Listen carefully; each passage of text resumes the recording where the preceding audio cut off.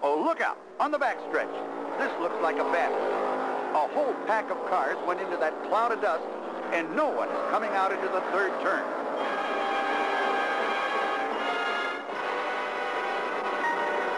When the dust and smoke cleared, this was the first clean shot our cameraman could get. The backstretch looks like a junkyard.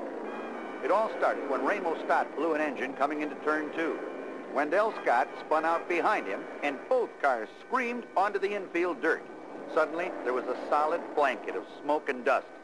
Like our backstretch camera, the drivers could see nothing. They spun in the oil slick, crashed into the wall, and hurtled into each other. At 195 miles per hour and with no visibility whatsoever, it was a nightmare and the worst accident in NASCAR history.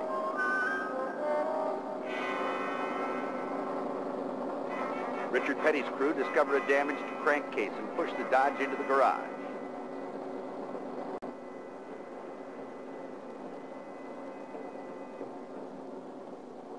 Here's a look at some of the other machinery, completely totaled out. 85 is Ronnie Daniels Chevy. 48 is the Mercury driven by James Hylton. Bill Ward's Chevy, number 82. 88 is Ron Keselowski. The damage is unbelievable, like Bobby Mausgrover's Ford, number 53. The front end of Bobby Allison's Monte Carlo disintegrated.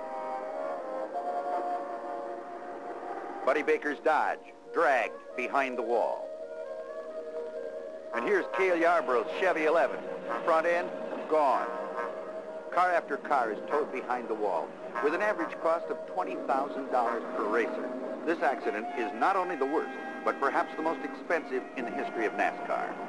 Several drivers received lacerations. Earl Brooks had a fractured hand. Joe Frasson suffered shoulder injuries. Slick Gardner, a knee injury.